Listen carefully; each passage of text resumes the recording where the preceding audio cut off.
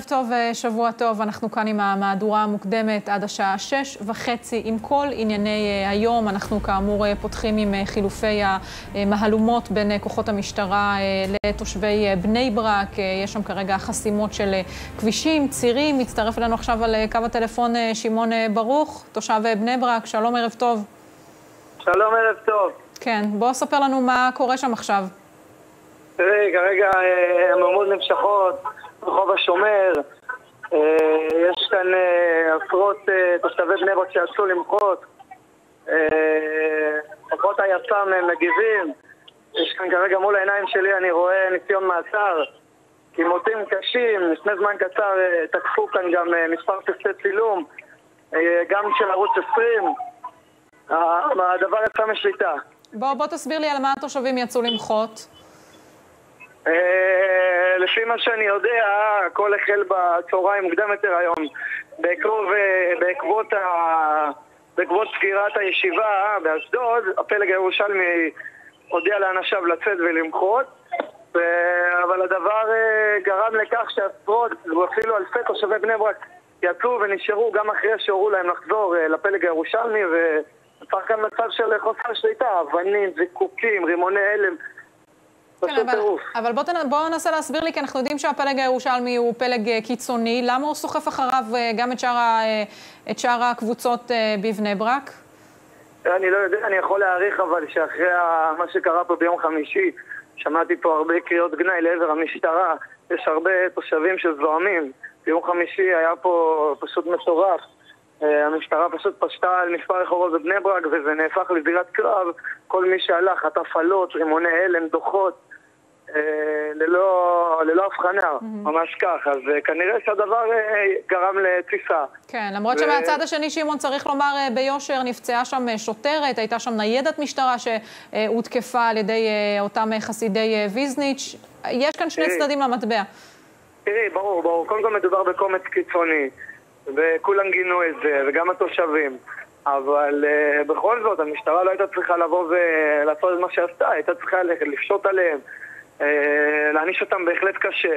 אבל uh, בכל זאת, מה, מה עשה תושב בני ברק שהלך לקנות קניות בסופר ויצא וחטף uh, אלות ורימוני הלם? הוא לא עשה שום דבר. מה צריך לקרות עכשיו שם uh, בבני ברק uh, כדי uh, להוריד את גובה הלהבות? אני לא יודע, אבל לפי מה שאני רואה, ברגע שמגיעה המשטרה, יש עימותים. ברגע שמגיעים שוטרים, נוצר המון עכשיו אין ישיבות, אין בית ספר, אין תלמודי תורה, אז מה שקורה זה שכולם מתעצבים, ונוצר... נוצרים אה, דמרות שאנחנו רואים. כן, כן, אולי, אולי הגיע הזמן שמישהו מההנהגה שם אה, יקום ויגיד לאנשים אה, לחזור לבתים. תראה, אני, אני, זה, זה, זה, לא, זה לא עובד ככה כמו שמנסים לצייר את זה בתקשורת. יש רבנים, כמובן שאם אה, רב גדול אה, יבוא ויגיד לכולם לחזור, אז אני מאמין שישמעו לו. אבל אה, אתה יודע, זה, זה, זה, זה כל מיני תושבים, זה לא, זה לא, זה לא אפשרי שעכשיו ימצאו כל רב של כל מגזר ויגידו לו את זה. כן, אבל אתה מסכים איתי, שמעון, שבתקופה הזו של הקורונה הם גם מסכנים את, ה, את הבריאות של, של עצמם עם ההתקהלות הזו שם? מה הם? מסכנים את הבריאות של עצמם עם ההתקהלויות האלה שם. כן, תראי, הרוב עם מסכות, אבל נכון, אבל אה, נראה, נראה לאן זה יוביל. כרגע אה, מה שקורה זה שפשוט אה, מוקד למוקד, כל שנייה מוקד חדש. שמעון ברוך, אנחנו ננסה להתעדכן איתך בהמשך שם בבני ברק. תודה רבה. תודה. תודה רבה לכם. אנחנו ממשיכים עם עדכוני הבריאות. ירידה במספר הנדבקים, אך מספר החולים קשה מוסיף להיות גבוה. יאיר קראוס, כתב הבריאות של מקור ראשון, שלום, ערב טוב. שלום, ערב טוב. אנחנו פותחים עם uh, תמונת המצב שלך אחרי uh, סוף השבוע הזה. כן, כמובן שירידה במספר הנבדקים, אנחנו זוכרים, אה, הנדבקים וגם הנבדקים, אנחנו זוכרים לייחס לסוף השבוע, כך שמוקדם עדיין להעריך או לקבוע עמדות ומגמות לאור המספר שאנחנו מקבלים היום וגם נקבל מחר ביום שני, אבל מה שכן אפשר לומר, וזאת בצורה מאוד מאוד מפוקחת וגם מאוד מאוד אופטימית, אנחנו כבר יודעים וכבר זה הסגר השלישי, וזה כבר הפעם השלישי שאנחנו נמצאים בסרט הזה, ואנחנו יודעים לומר שאחרי 12 עד 14 ימים מתחילים לראות תגובה של הסגר, וזה מה שקורה למעשה, אנחנו רואים כבר התייצבות במספר החולים הקשה, אמנם הוא עדיין גבוה, אבל כבר מתחילים לראות במספר החולים, החולים הקשה אה, שמתווספים בכל יום ירידה אה, מסוימת כך שאין ספק שהסגר עובד, ואנחנו רואים את המציאות כפי שהיא אמורה להיות. אחרי מספר אה, שבועיים סגר יש ירידה כבר במספר החולים הקשים, ולאט לאט גם נראה ירידה בהמשך, בעזרת השם, במספר המאומתים אה, היומי. אנחנו מקווים גם לראות את זה בירידה של אחוז המאומתים, אבל כן. אפשר לומר שלמרות שהנתונים מאוד מאוד גבוהים, אבל המגמה כמו שאנחנו מצפים לראות, היא, היא בהחלט חיובית. כן, כשבמקביל כל הזמן אה, חשש אה, מכניסה של המוטציות השונות כאן לישראל, כשראש הממשלה נתניהו מניח הצעה לסגירת נתב"ג לשבועיים, איפה זה עומד? זה בעצם המרכז הדיונים של ישיבת הממשלה שמתקיימת ממש ברגעים אלו כבר מזה מספר שעות. ככל הנראה כבר ביום שלישי בחצות ייסגרו השמיים, לראשונה אני חושב בהיסטוריה, גם אפילו לעולים חדשים, לכל, לכל האנשים ייסגרו השמיים למעט מקרים הומניטריים, וזאת אה, כדי לעצור ולמנוע התפשטות אה, וכניסה של מוטנטים, של מוטציות, וריאנטים אה, מחו"ל, וזאת למשך שבועיים, כאשר תמונת המצב היא כיום שעוד לא ברור לנו מה עומד מאחורי הווריאנט. הווריאנטים השונים, אנחנו יודעים לפחות על שלושה, ברזילאי, דרום אפריקאי ובריטי, עוד לא ברור אה, אה, המשמעויות של כל וריאנט על אה, החיסונים ובכלל על התחלואה, ולכן ינסו לעצור את תמונת המצב עם, כניסת, עם איסור כניסה של אנשים, ובהמשך ינסו להבין מה המשמעויות וכיצד בטווח הארוך מתמודדים עם המוטציות, עם הווריאנטים האלה, mm-hmm. כאשר אני מזכיר לך, גם אם נהיה כולנו מחוסנים, אה, העולם כולו ממשיך אה, להיות עם אה, קורונה, אה, מוטציות אפשריות להתפתח אה, ככל אה, שיחלוף אה, זמן, ידוע זאת גם משחר ההיסטוריה, ולכן מדינת ישראל צריכה להיות עם עיניים מאוד מאוד פקוחות, בצורה מאוד מאוד ישירה, על, על אה, בעצם שדה הכניסה היחידי אה, לישראל בנתב"ג. כן. לזהות האם מוטציות חדשות נכנסות, ואז עלולות לשנות את התמונה כאן בישראל. כן, אין ספק שבמקביל אה, המל"ל אה, מעלה את החשש שתתפתח פה מוטציית אה, קורונה ישראלית בגלל החיסון. כן, זה לא המל"ל, אלא אה, מרכז המידע והידע של אמ"ן. אה, אתמול הוא מוציא אה, דוח שיוצר אה, כותרות ותבהלה מאוד אה, משמעותיות אה, בגוון ערוצים, כאשר הם אה, טוענים המוטציה הישראלית בדרך. אה, אני מדבר עם גורמים מאוד בכירים, אה, מומחים לווירולוגיה במשרד הבריאות, מערכת הבריאות בכלל. האפשרות הזאת אה, שמוטציות ישראליות יפתחו כאן היא מאוד מאוד מאוד קלושה. צריך לזכור את זה ולא לנפנף סתם במוטציות ישראליות. האפשרות לכך היא, היא, היא נמוכה מאוד, וזאת בגלל שאנחנו מעט מדי כן. אנשים. מוטציות מתפתחות אוהבות להתפתח במציאות של 300, 400, 500 מיליון בני אדם. משחר ההיסטוריה ראינו התפתחות של מוטציות בווירוסים שונים, גם הפוליו ווירוסים נוספים בסין, כן. בהודו, במדינות... אז אפשר, אה, אז אני רק אקטע אותך, יאיר, אני רק אקטע אותך, יאיר, כי אני מעדכנת שממש עכשיו הממשלה אישרה את אה, סגירת אה, נתב"ג למעשה. ממחר בחצות נתב"ג ייסגר הרמטית עד סוף החודש. בדיוק, זה כן. הדיווח. אז אנחנו אומרים שהמוטציות הללו, האפשרות למוטציות ישראלית, הן מאוד מאוד אה, קלושות. אין כאן מספיק אוכלוסייה, גם אני מזכיר לך, נמצא החיסונים בישראל יגיע אולי ל-60 אחוזים, הוא עדיין לא הגיע לכמות אה, גבוהה של אה, מחוסנים, כך שגם אותן תיאוריות שמדברות על לחץ, על אה, לחץ אבולוציוני, על הווירוסים, הן מאוד מאוד נמוכות. האם מדובר בתרחיש אפשרי? בוודאי. כמו שתרחיש בעוד מספר רגעים אסטרואיד יבוא ויפול בכנרת וישמיד את כולנו. כן. הכל אפשרי. האם זו סיבה לתבהלה?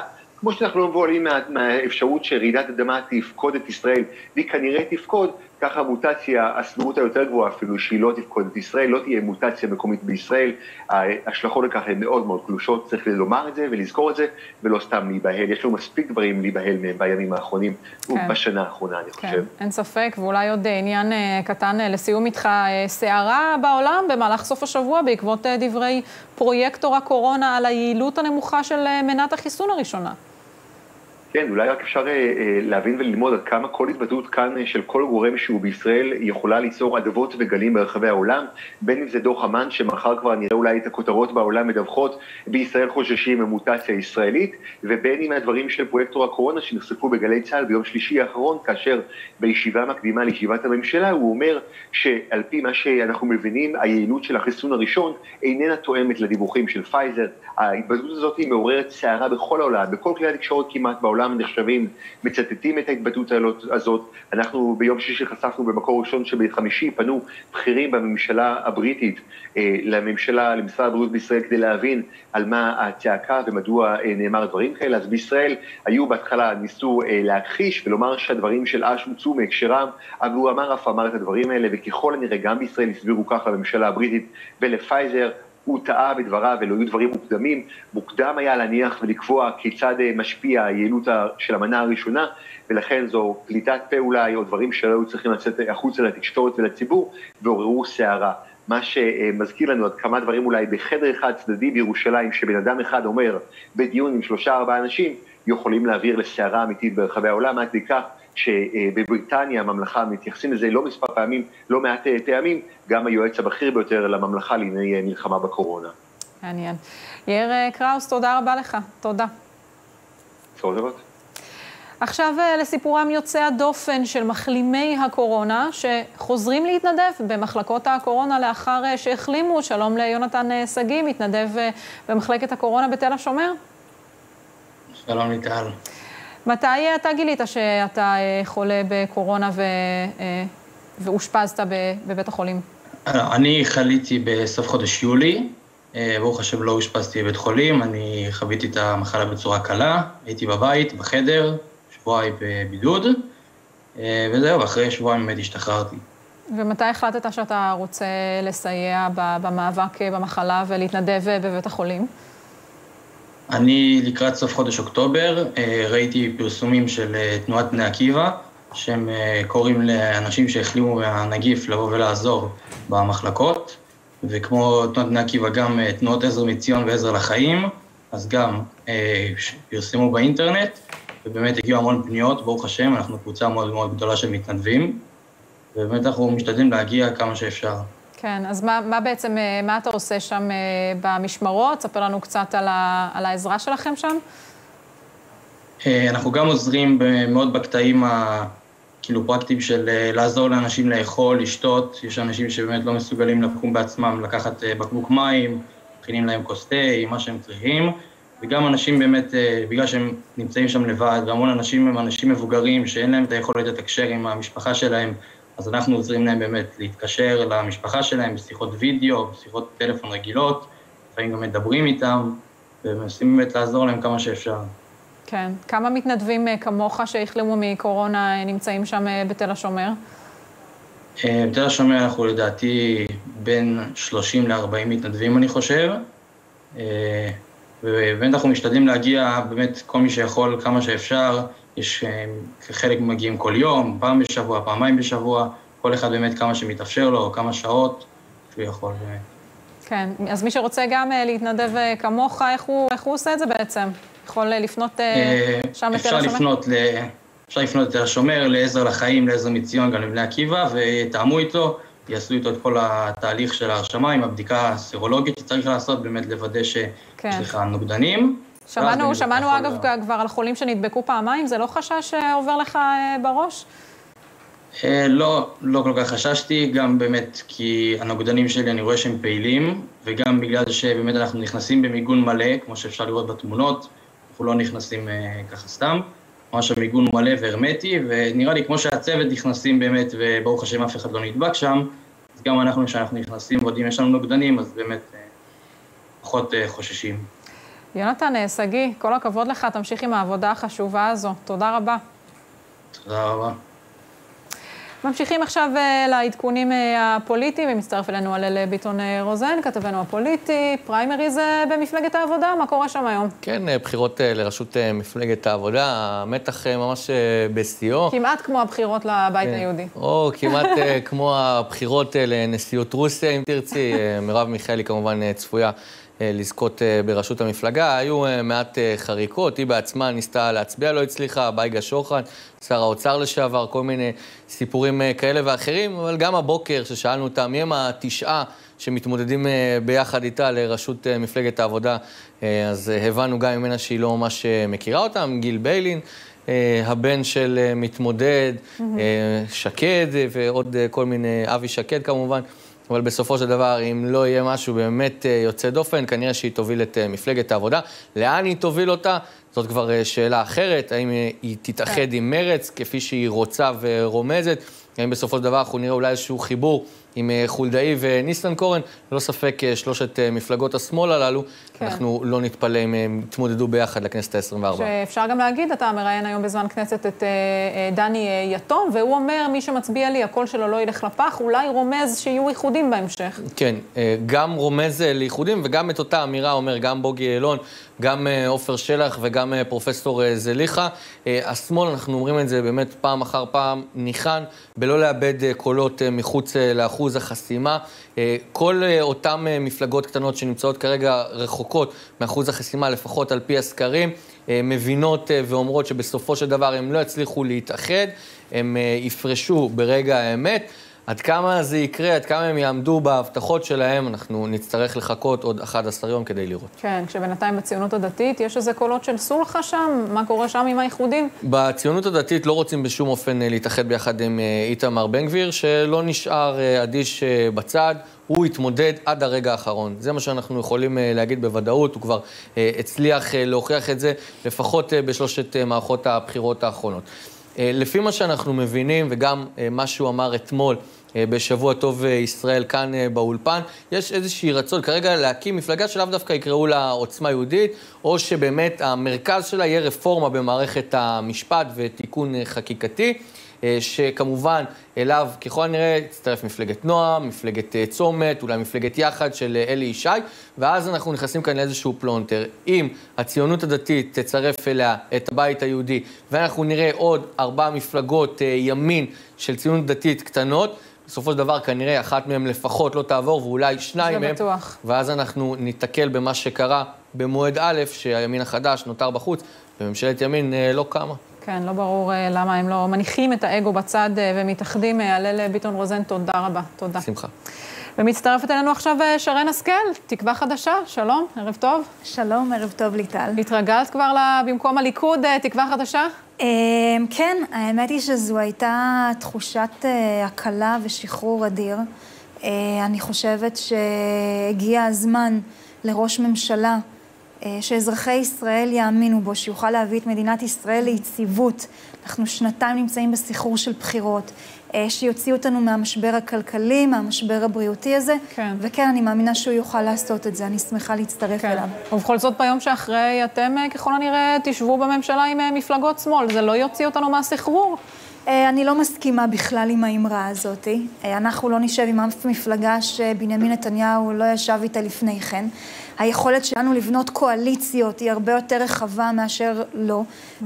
לביבי היום אין יכולת לבנות קואליציה בלי החבר החדש שלו, מנסור עבאס, אה, מהרשימה, מהתנועה אה, האסלאמית, כן. ובגלל זה הוא פונה לאפיקים כאלו ואחרים. מצער מאוד לראות את זה. אה, אבל... כן, אבל גם את בתור חברת ליכוד ראית אה, שיש אה, תמיכה מאוד גדולה בערביי ישראל, העברת תקציבים, תקציבי עתק לחברה נכון, הערבית. נכון, ויש אצלנו קהילה שלמה גם של ערבים מוסלמים וערבים נוצרים, מאוד מאוד ציוניים.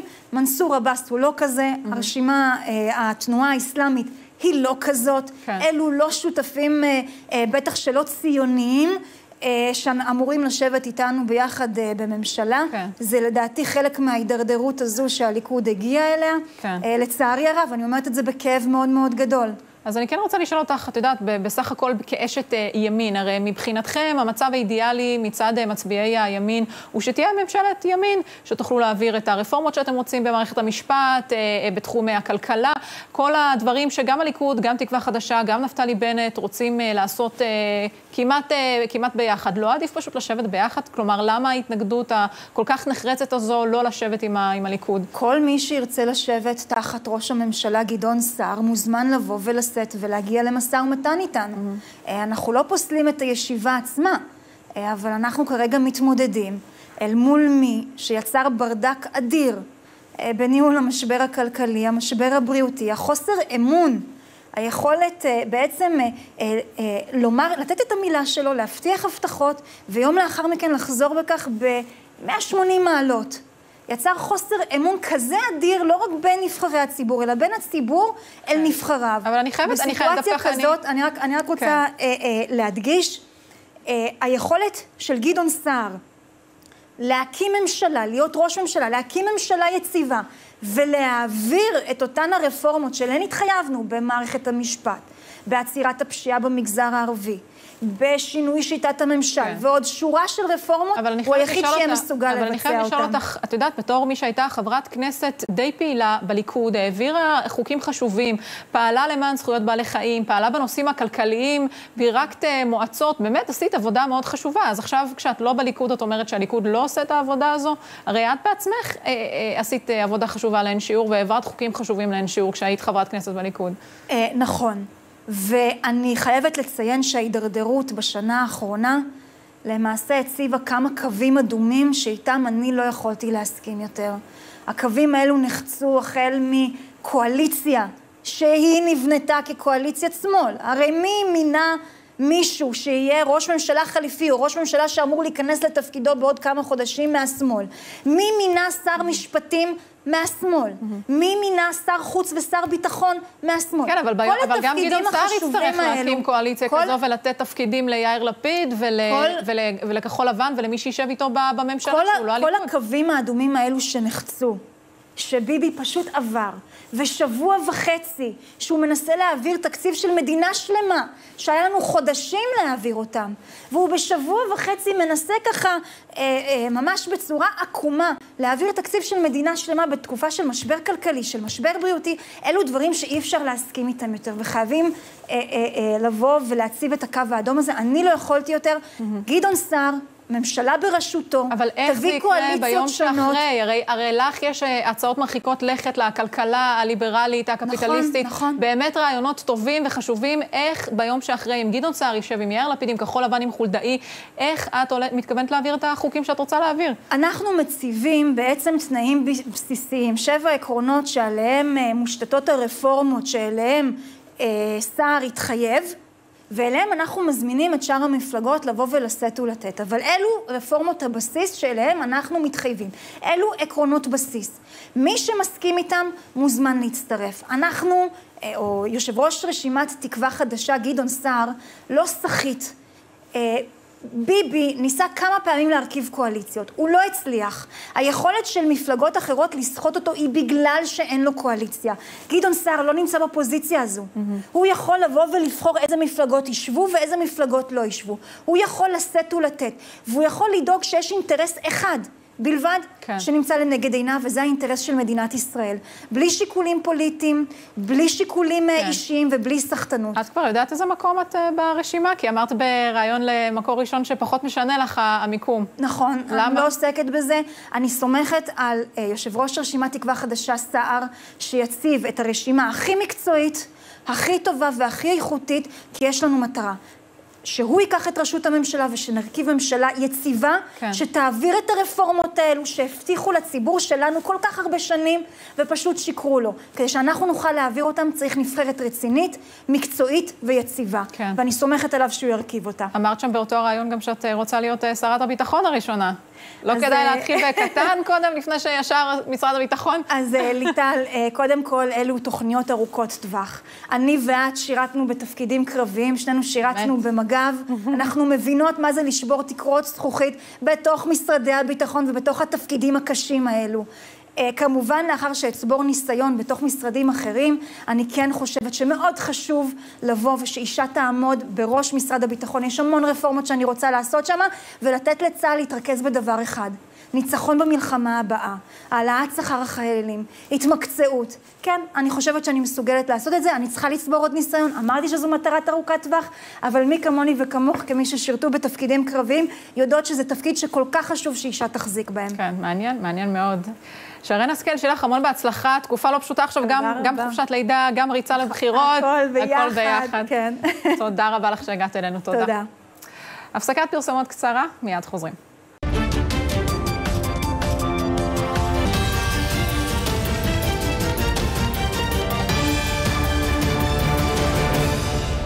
חזרנו, ועכשיו אנחנו עם האלימות הגואה במגזר הערבי. ארגון אה, הנוער הערבי, שביבת אג'יק, החליטו למחות נגד אה, האלימות אה, בחברה, ומצטרפת אלינו עכשיו פאטמה אבו פריח, רכזת בארגון הנוער. שלום, ערב טוב.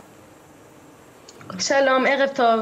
כן, אנחנו רואים באמת, ראינו במהלך סוף השבוע לא מעט הפגנות באום אל-פחם ובערים נוספות ברחבי הארץ. ספרי לי על ההתגייסות הזו של בני הנוער למאבק באלימות. אה, זה עצרת מחאה נגד אלימות אה, בחברה הערבית. מה? כן, כן, ספרי לנו על, עצרת המחאה. כאילו, יש לי בעיה במצלמה שנייה. כן, כן, אנחנו רואים אותך. אוקיי. אוקיי, אנחנו נחזור אל, אה, ננסה לחזור אל אה, פאטמה אה, בהמשך. אנחנו עוברים עכשיו לדוח האלימות הישראלי לשנת 2020, שמגלה כי התבצעו אלפי תקיפות של נהגי אוטובוס במהלך השנה החולפת. שלום לישראל גנון, יושב ראש ארגון נהגי האוטובוסים בישראל. שלום, ליטל. כן, אתה כאמור היית אצלנו כאן בעבר במקרה תקיפה אחר של נהג אוטובוס. איך נראים עכשיו הנתונים? איך הגענו לאלפי תקיפות בשנה? זהו, זה משהו שידענו, הכתובת הייתה על הקיר תמיד. אה, והיום הסקר שערכנו, התוצאות שלו בעצם מראות לנו תמונה עגומה. אנחנו מדברים על מעל 3,500 אירועי תקיפה בשנה. זאת אומרת, מעל עשרה אירועים ביום. זה מספר הזוי, זה הופך להיות המקצוע הכי מסוכן במדינת ישראל. וואו. אה, ואנחנו בעצם באים, ידענו את זה, ואנחנו דרשנו וביקשנו ממשרד, ממשטרת ישראל, מהמשרד לביטחון פנים, מכל הגורמים הרלוונטיים, תשמרו על נהגי אוטובוסים. אה, נהגי אוטובוסים מסיעים אזרחים, הם עובדי ציבור. אה, ברגע שפוגעים בנהג אוטובוס, בעצם פוגעים ב-50 נוסעים, מסכנים ציבור שלם. נכון. אי אפשר, אי אפשר לתת לזילות הזאת להמשיך. חייבים לעצור, חייבים לבוא, לצאת פה אכיפה רצינית, ענישה. אה, להרתיע, אי אפשר לפגוע בנהגי אוטובוסים, זה, זה דבר בלתי נתפס, והמספרים שאנחנו רואים הם מספרים איומים, אנחנו שומעים מהסקר ש... תן לי באמת דוגמאות למקרי התקיפה האלו, מה, מה, מה חוויתם, מה ראיתם במהלך השנה הזו? אנחנו רואים המון אירועים של זריקת אבנים, אנחנו רואים בתקופה של הקורונה, שדווקא הייתה צריכה להיות תקופה של פחות תחבורה ציבורית, דווקא פה אנחנו רואים את שנת השיא של האלימות. אה, אנחנו מזהים שהתוקפים או אזרחים שרוצים אה, ממורמרים על השלטון, על הממסד, רואים באוטובוסים כסמל שלטוני.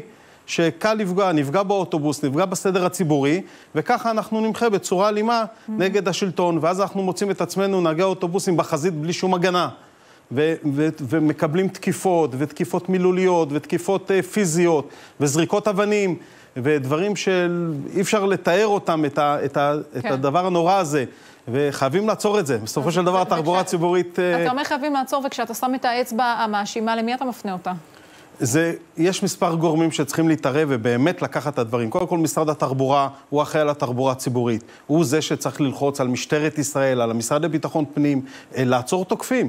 אי אפשר שאנחנו שומעים על 3,000 אירועי תקיפה, שמתוכם אלפי תיקים הגיעו למשטרת ישראל, ואנחנו לא רואים תיקים שנפתחים נגדם אה, נאשמים, אה, אה, פסקי דין, כתבי כן. אישום. התיקים נסגרים מחוסר עניין לציבור ודברים כאלה, ועולם כמנהגו נוהג. מה קרה, אגב, באותו מקרה שראינו אז, שהגעתם להתראיין עם הנהג שקיבל יריקות וקללות? כן, אנחנו... קרה שם משהו? אנחנו, אנחנו רואים, אנחנו, מק... ה... אנחנו, אנחנו מקווים, דברים כאלה לוקחים זמן, אנחנו באמת מנסים לעקוב אחרי כל האירועים, זה המון אירועים. אה, אני בטוח שברגע שמשטרת ישראל תתחיל להאשים, להעמיד לדין את, התוקפים האלה ונתחיל לראות אה, את העונשים בהתאם, שמערכת השפיטה גם כן תוכל לשפוט אותם ולהעניש אותם, אז נתחיל לראות הרתעה. אבל כל עוד זה לא קורה, אנחנו כולנו בבעיה. כן, אני חושבת, אה, ישראל, שיש השנה, זה אפילו יותר צורם, כי בשנה כזו של קורונה, שלא רק הנהגים מסכנים את החיים שלהם, לבוא באיזשהו עימות עם, אה, עם אה, נהג, למעלה משלושת אלפים מקרי תקיפה בשנה כל כך, כל כך בעייתית, זה פשוט חרפה. זה, זה מאוד מקומם. אנחנו רוצים לקחת את המקצוע הזה של נהג אוטובוס ולהכיר בו כמקצוע רשמי, להיות מובילים בעולם בתחום של התחבורה הציבורית. מדינת ישראל משקיעה מיליארדים בענף הזה של התחבורה הציבורית, והמשאב האנושי כל כך חשוב לטפח אותו, ונהגים קמים בבוקר לעבודה ורוצים לתת שירות, ובעצם כל יום הם נותנים שירות לאזרחים, ובסופו של דבר הם לא יודעים אם הם חוזרים הביתה. אה, חלקם חוזרים ולא מדווחים, ופגיעה נפשית. באדם עצמו, בנהג, תחשבי שהוא בעל משפחה, נכון. או סבא, ופתאום ילדים צעירים, או, או אנשים, כל מיני סיבות שיכולות להיות, משתמשי דרך שלא מסתדר להם משהו, שמעצבנים על המערכת, ואת כל הזעם שלהם מוציאים לנהגי אוטובוסים, וכל הדבר הזה מאוד מקומם. אותנו זה מאוד מקומם, אנחנו לא יכולים להמשיך ככה, אנחנו מוחים, הכתובת על הקיר, אנחנו לא רוצים שירצח כן. נהג, אנחנו רואים את זה כל פעם, את העולה עוד מדרגה, עולה עוד מדרגה, הגל הזה של האלימות, וחייבים לעצור את זה, ובאמת, הגיע הזמן שמשרד התחבורה עוד פעם יבוא ויגיד, זהו, מפסיקים לפגוע בנהגי אוטובוסים, מפסיקים לפגוע בתחבורה הציבורית. כן, ישראל גנון, בהחלט אה, מילים שחשוב אה, שיישמעו, ונקווה שיעשה סדר אה, בדבר הזה. אגב, גם ברמה התרבותית, בישראל צריכים לטפל בזעם הזה של נושאים ובחוסר נימוסים בסיסיים, אבל זה כבר נושא לדיון רחב יותר. ישראל גנון, תודה רבה לך. תודה. תודה רבה. יוצאים עכשיו להפסקת פרסומות קצרה, מיד חוזרים.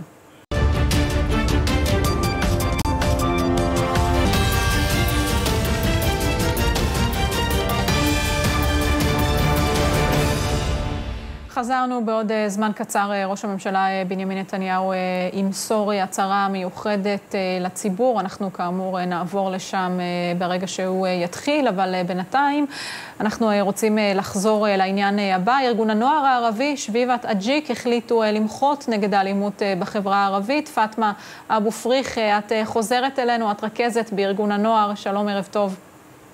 שלום, ערב טוב. ספרי לנו על היוזמה שלכם אה, להיאבק באלימות אה, במגזר הערבי. אוקיי, אה, מחר יש לנו עצרת מחאה נגד אלימות בחברה הערבית ברהט. כי אי אפשר באמת לסבול את, ה, את המצב הזה שאנשים נפגעים. כן, ומה אתם הולכים לקרוא שם בעצרת הזו, או מה אתם הולכים לומר? למי אתם מפנים אצבע מאשימה? חלאס לחברה. כשלמי את אה, מפנה אצבע מאשימה? למשטרה, לממשלה, למנהיגים?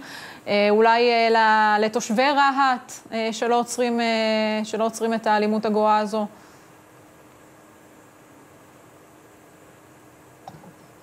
אנחנו, מה? אנחנו מפנימים את זה גם, גם למשטרה. כן.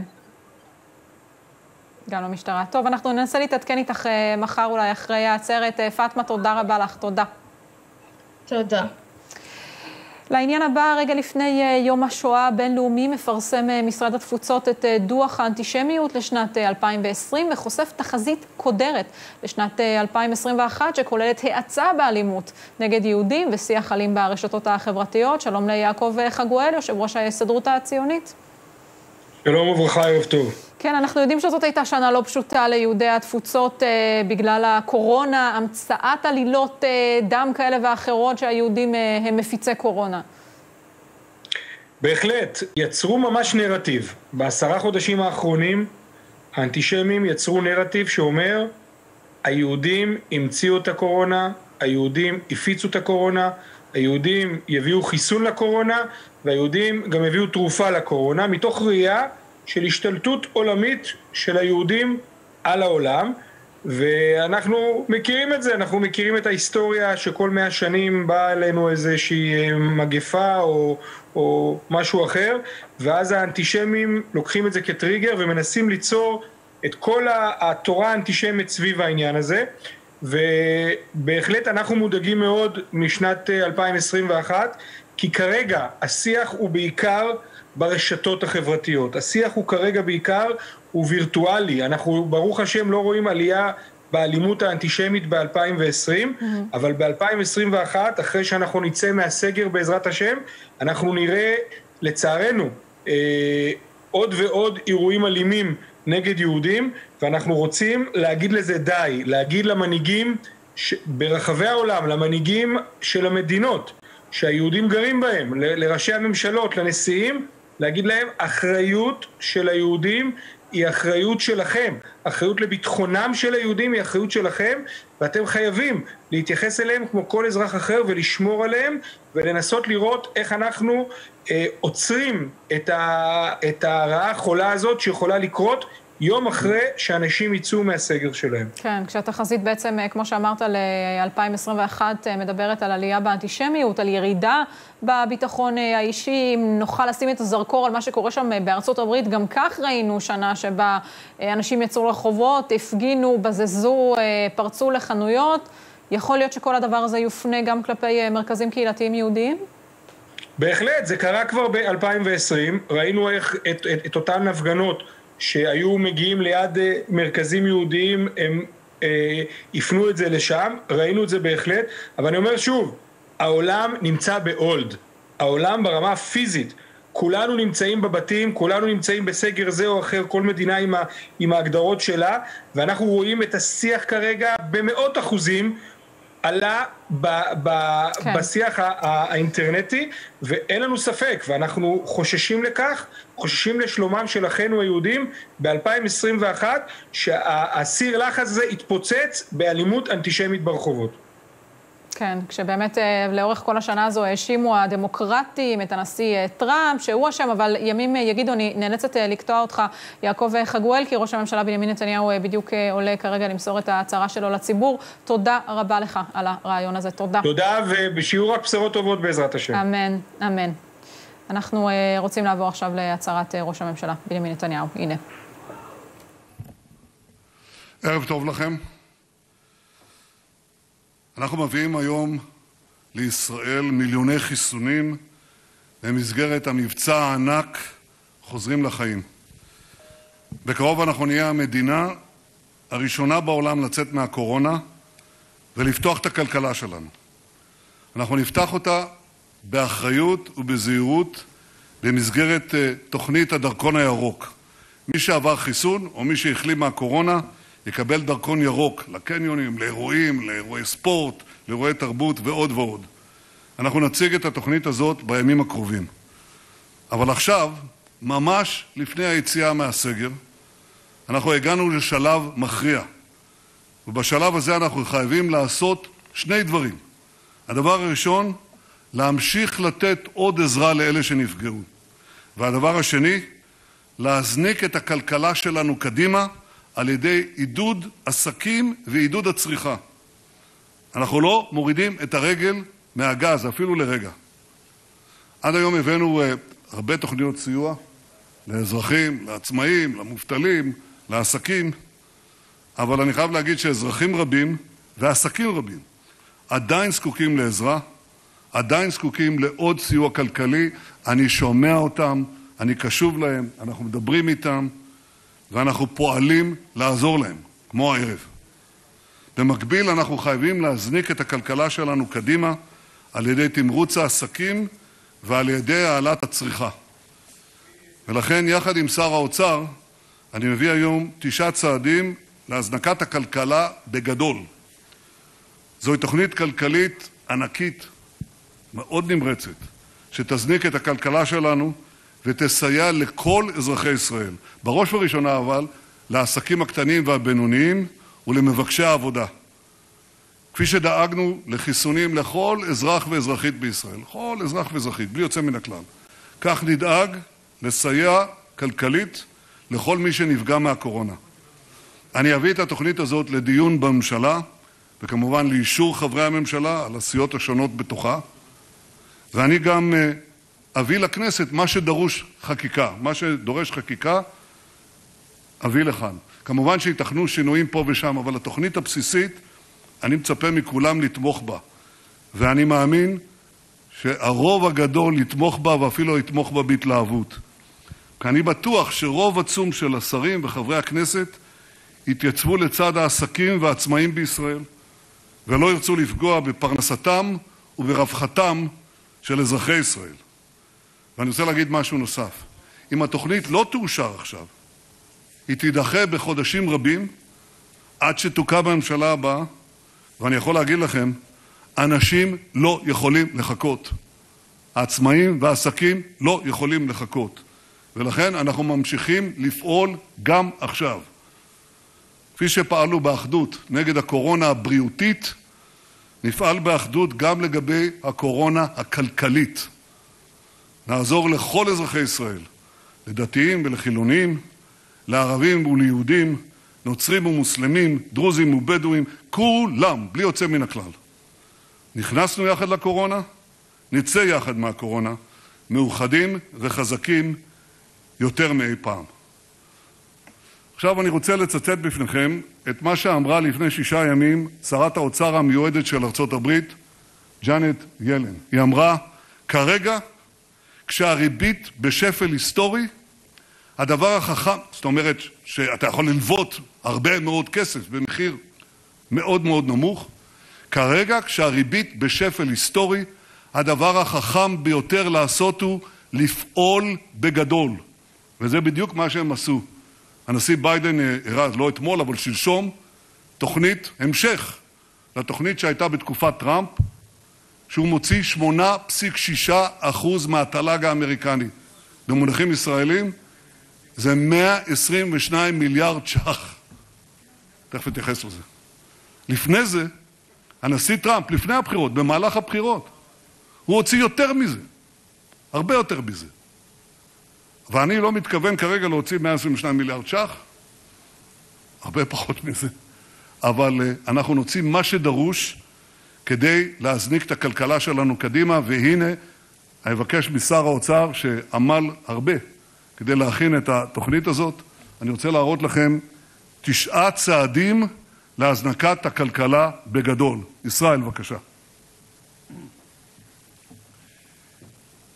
תודה רבה לראש הממשלה. אני פונה אליכם באמת, אזרחי ישראל, ואני אומר, אנחנו ביחד עכשיו, בהמשך לכל מה שעשינו, הולכים להביא כאן תוכנית שהיא תאפשר לקראת פתיחת המשק לעסקים, לעצמאים, להניע את הפעילות, לחזור לפעילות, ולמובטלים לחזור לעבודה תוך כדי זה שאנחנו תומכים בהם. יש כאן תשעה צעדים בתוכנית להזנקת הכלכלה בגדול. הדבר הראשון הוא מענק לעסקים להזנקת הכלכלה, עסקים שנפגעו ב-25% ומעלה. כל עסק ממחזור שבין 18,000 ל-300,000 ש"ח יקבל מענקים שבין 8,000 ל-15,000 ש"ח לפי מידת הפגיעה. וכל עסק שהוא ב-300,000 ש"ח ומעלה יקבל מענקים ממוצעים בגובה 30,000 ש"ח. והפעם גם העסקים החדשים שנפתחו בשנת 2020 יקבלו מענק חדש בגובה 8,000 שקלים. הצעד השני הוא מענק משקי בית להזנקת הכלכלה עד העשירון השביעי הפעם. 750 ש"ח לכל בוגר, 500 ש"ח לכל ילד עד הילד הרביעי ו-300 ש"ח לכל ילד מהחמישי במעלה. התוכנית הזאת היא ממוקדת מטרה והיא באה לסייע הפעם למישהו עד העשירון השביעי, כולל מעמד הביניים שנפגע יותר מאחרים במשבר הזה.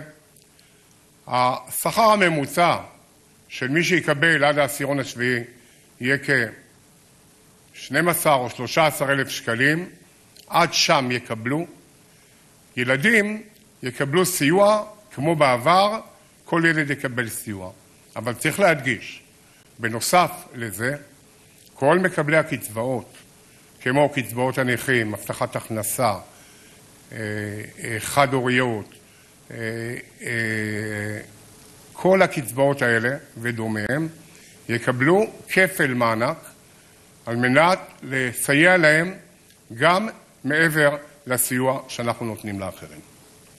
התוכנית הזאת היא מיועדת לסייע והיא מיועדת להגביר את הצריכה, משום שהתשלום הזה לכל מי שהוא עד העשירון השביעי, הוא יאפשר לו לרכוש. וכך, עם פתיחת העסקים שהולכים להיפתח, גם יהיה אפשרות לבוא ולרכוש ולהזניק את הצריכה ולסייע גם לאנשי העסקים.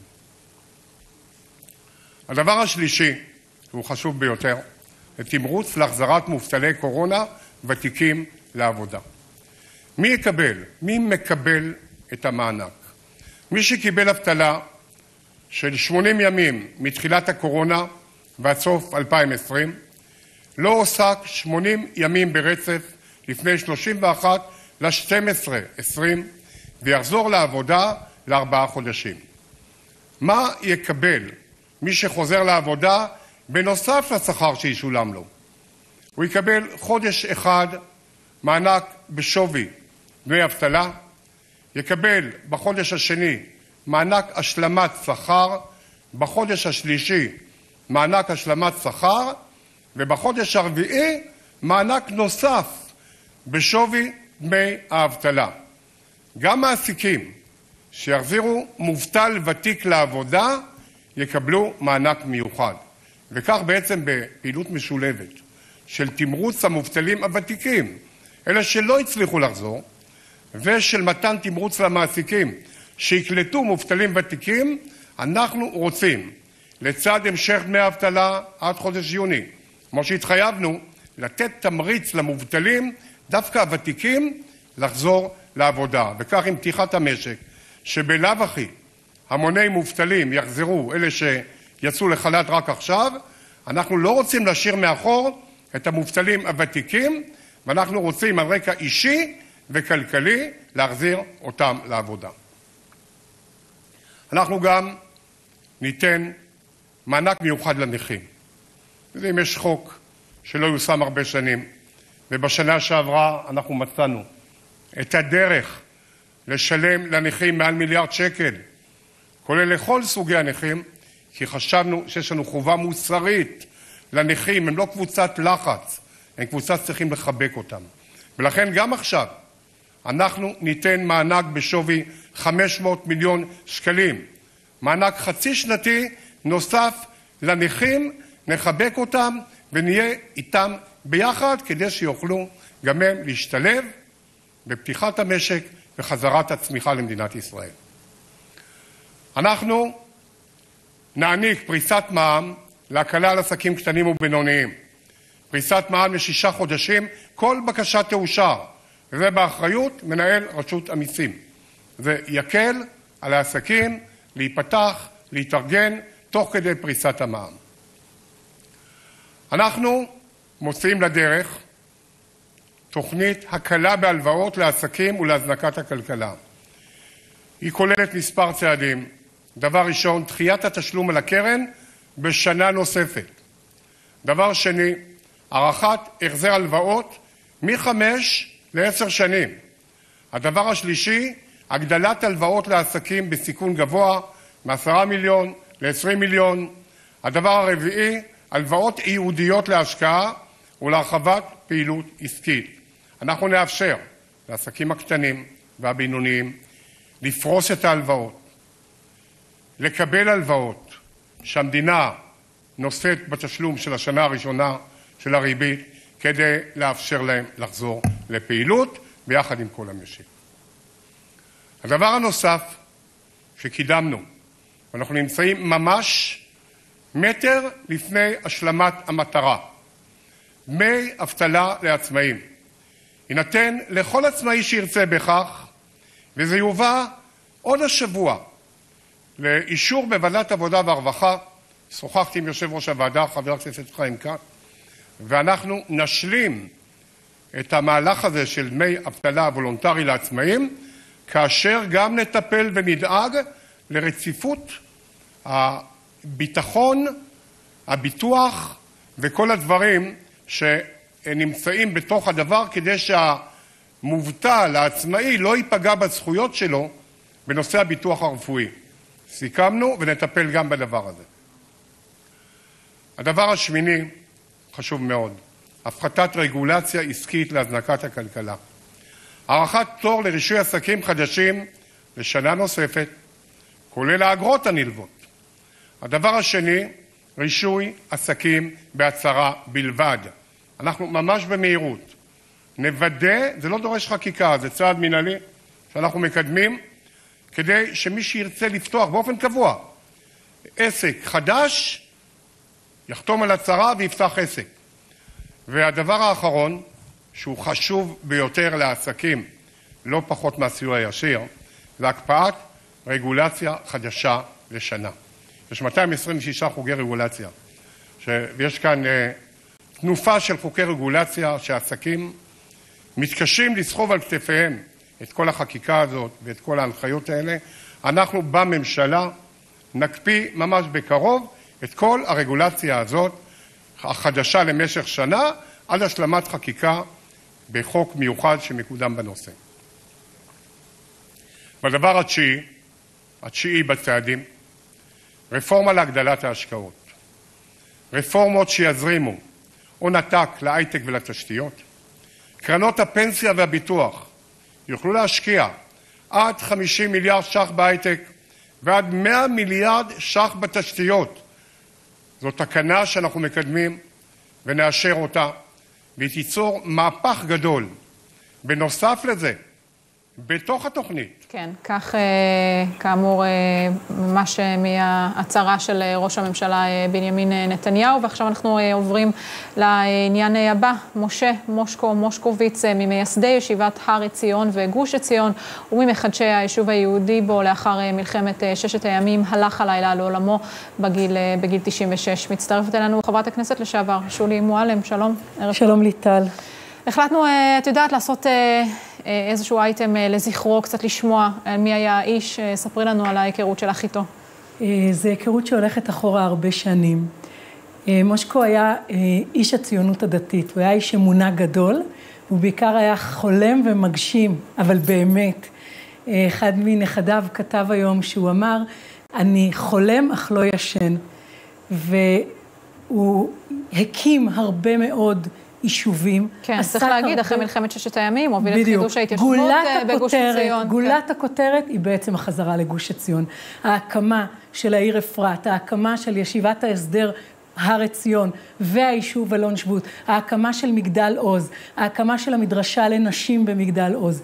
גוש עציון היה גולת הכותרת, אבל הוא הקים גם את מרכז שפירא, הוא הקים את, אה, אה, את, את, את המרכז ללימודי משפטים. הוא היה ממי שהקים ודחף להקמה של אוניברסיטת בר אילן, והוא עסק בכל נושא שהביא לשגשוג וקידום של מדינת ישראל והעם היהודי.